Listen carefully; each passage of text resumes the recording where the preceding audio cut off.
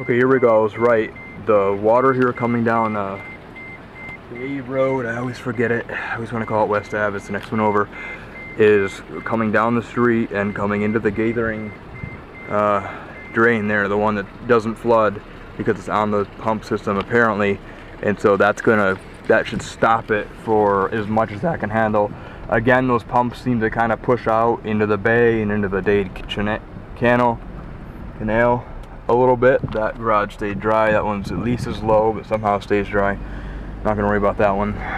Um, but yeah, so as much as that can handle, that can be uh, a solution, I guess. But this, so what we can basically say is the pumps may be a solution. The seawall, I would say, is a piece of shit.